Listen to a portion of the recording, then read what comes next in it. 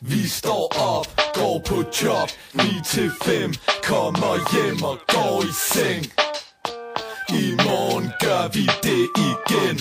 Vi står op, går på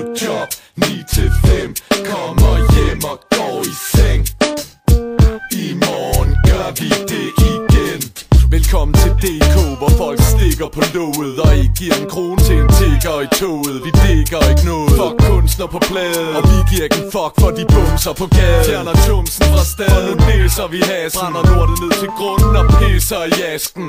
Fatter slet ikke hvor meget cash vi mister. Hvor den svageste pisser og statsminister. Det er alt for trist og vi glemmer hvor mange Der rent faktisk går til valg og stemmer på ham.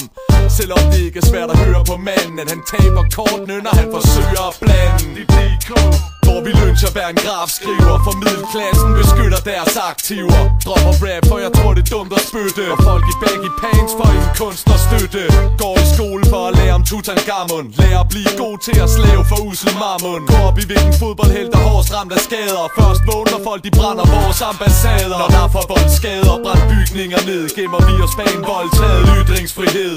Kæmper for terminen og prøver på at hamle op. Frygter at gå bankerot, hvis de sætter renten op. Dem der er pengene, de render fra skatten Og medvirker til byen brænder om natten. Og staten har desværre formodet At der pt ikke er nogen, der mangler tag over hovedet. Så vi jagter et par knægte i jarden Og glemmer ham, der sover på bænken i parken. Vi giver ikke afkald på det, vi kan lide For her er stupiditet blevet epidemi. Vi står op, går på job 9 til 5, kommer hjem og går i seng.